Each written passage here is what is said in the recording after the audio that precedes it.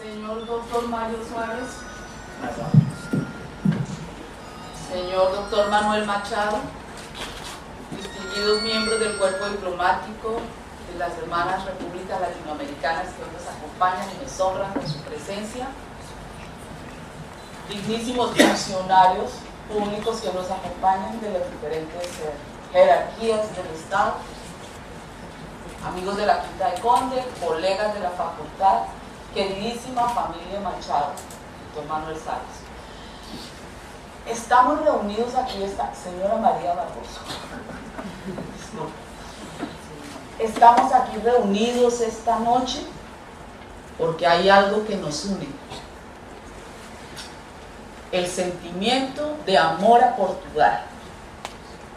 Y digo esto porque yo pienso que fue ese estado afectivo, esa nostalgia de la tierra, ese interés supremo por esta tierra portuguesa, lo que hizo que la señora Elcira en 1934 escribiera los cuentos para sus nietos que fueron compilados en 1938 por la editorial de Vilanova de Famalicón que se llama Minerva y que ya desapareció. Lo que aconteció fue que la señora Elcira, forzada por las circunstancias políticas que vivía Portugal, tuvo que salir con su esposo, el señor expresidente Bernardino Machado, para vivir en el exilio, en el exterior. Y comenzó a vivir con gran nostalgia, saudade, ¿no? que dicen, nostalgia por su tierra y por sus nietos. Y escribió estos cuentos que son 62 narraciones fantásticas de aventuras en las que los protagonistas son algunos de sus nietos y los otros meninos y meninas portugueses que dialogan con la naturaleza y que siempre en esos diálogos nos hacen reflectir sobre cómo ser mejores. Y entonces yo leí estos cuentos y sentí una inmensa ternura y pensé que cumplían la función que deben cumplir los cuentos, porque siempre están hablando de formar a los meninos y meninas en la bondad, en la generosidad, en la honestidad, en la solidaridad, que es lo que todos procuramos finalmente para tener mejores ciudadanos.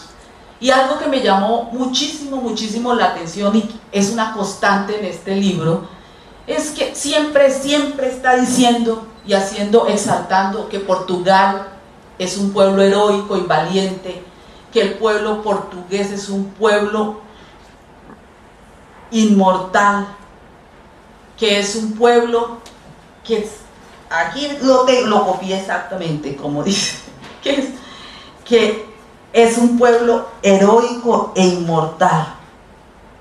Y entonces yo estuve pensando que estos cuentos, a pesar de su, de su antigüedad, porque fueron escritos en 1934, no pierden vigencia ni siquiera para los meninos ni tampoco para los adultos. Para los meninos no, porque está formándolos en los valores que nosotros queremos para los próximos ciudadanos. Y para los adultos, en este momento en que estamos en Portugal, podríamos decir, como dice en uno de sus cuentos la señora Alcira, dice, es la hora de agora, es agora de agora, de, de tirar de nuestro interior lo mejor de la valentía portuguesa, lo mejor del heroísmo portugal para volver a levantar con heroísmo el esplendor de Portugal.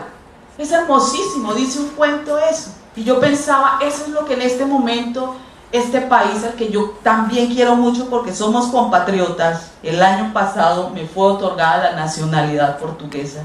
Entonces,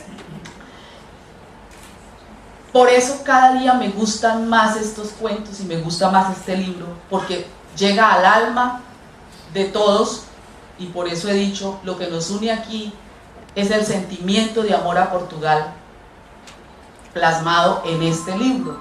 Este libro era el original, es el mismo que el doctor mostró. Y ahora lo hemos hecho en esta nueva edición al castellano, que tiene el título, Norma Cuentos para mis nietos, el nombre de la señora Alcira Dantas Machado. hemos hecho aquí, eh, yo quise que un, un eh, dibujante pintara como si fuera un, un, niño para hacer más agradable a los meninos. Y esta es Doña Elcira, imaginada por un, por un dibujante de Colombia. Es, en esta moldura está también la figura de don Bernard, del expresidente Bernardino, mírela. Aquí está la moldura. ¿Y por qué? Porque siempre estaba a su lado. Y el corazón con una formiguita, porque yo me imagino la señora Elcira con 19 fillos, 20 años grávida. Y fuera de eso, tener tiempo para pensar en el país, para pensar en el Estado, para pensar en que la mujer tenía que tener iguales derechos que los hombres. Que no solamente la mujer tenía que estar a reproducirse, sino también físicamente, pues, sino también ser parte activa en el Estado y ser ciudadana plena. Entonces todo eso me hizo pensar, esta señora merece. Y nosotros al otro lado del Atlántico tenemos el derecho de también conocer esta historia y partillarla porque hace que nos podamos todos contribuir a hacer de una Iberoamérica como la que queremos. Este libro fue impreso todo en Colombia. ¿Por qué? Porque ya saben que soy colombiana de nacimiento. Y como les estaba diciendo, quisimos destacar en la portada que el prólogo fue escrito por el doctor Mario Suárez, expresidente y ex primer ministro de Portugal.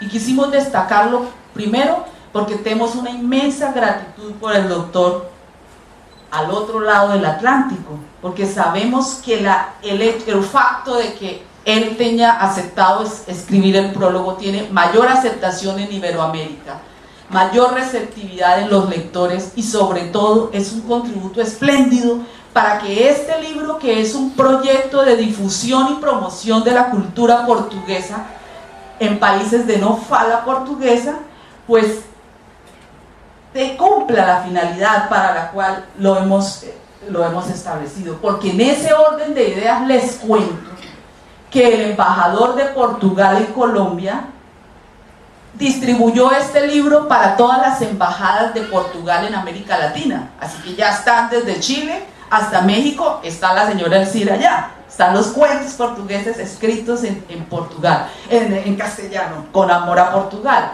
Y también e, este libro vamos a presentarlo a finales de enero en Bogotá en un acto similar a este, fican todos convidados. Y para la portada también tiene que, pues mi nombre y fuera de eso tiene el logo del Instituto Camois. ¿Por qué? Por el apoyo institucional que me te he dado el Instituto Camois y porque el Instituto Camois, pues su función es difundir la cultura portuguesa y a través de la traducción se cumple esa función. Y entonces hemos hablado con el, con el director del instituto, con la directora del Instituto Camois. sí, antes era la señora, la doctora, sí señor. Y entonces, ¿para qué? Porque vamos a hacer unas reuniones parecidas a estas en Cecimbra, donde yo moro, y en la Quinta de Conde, donde tengo mi casa, aquí está el presidente de la Junta de la Freguesía y muchas personas de allá, para hacer que los meninos que están aprendiendo castellano puedan aprender castellano de la mano de la señora Elcira, porque aquí estos cuentos traen geografía portuguesa y amor a Portugal y valores portugueses. Así que vamos entonces a que esta traducción y este libro cumpla esa función y estamos en esa labor con, con los amigos de la Quinta de Conde. ¿Qué más les digo? Por dentro del libro tiene, aquí en la solapa está el, eh, una semblanza del señor Elcira que escribió el doctor Manuel Machado Samárquez, ya voces lo estén escuchado, es primo de la mayoría de, de voces. Y aquí pues hay algo de mí, dice un poquito sobre mí, y aquí al final, pues dice frases que yo quise escribir para intrigarlos y hacerlos, incitarlos, insinuarles, a ver si los convenzo para que entren al libro y empiecen a verlo cómo es de bonito. Fue, fue ilustrado todo, este es un papel fino, blanco, esmaltado, y fue ilustrado todo, re, como se dice, um, sintetizando la idea de cada cuento. Cada cuento tiene una moral, tiene una lección. Y cada cuento, además de eso, es una incitación, una invitación para amar a Portugal y hacerlo mejor. Y yo pienso que en este momento, vuelvo y, repito, es la hora de, como decía la señora Elcira, sacar, tirar de nuestro interior la valentía y el coraje del pueblo portugués, que, que así, que ten feito que Portugal sea una nación inmortal, para levantar de nuevo el esplendor de Portugal y que diga Europa a la tierra entera que Portugal no sucumbió, ¿no? no falleció. Portugal siempre adelante. Obrigado.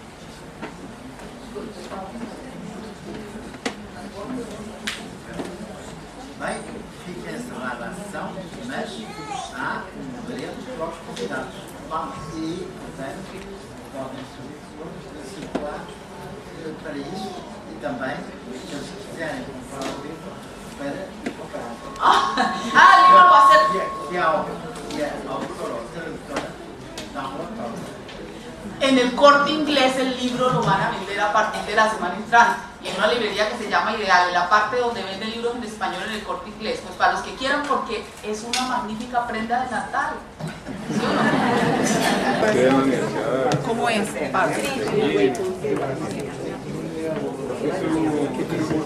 Tres, tres, sí.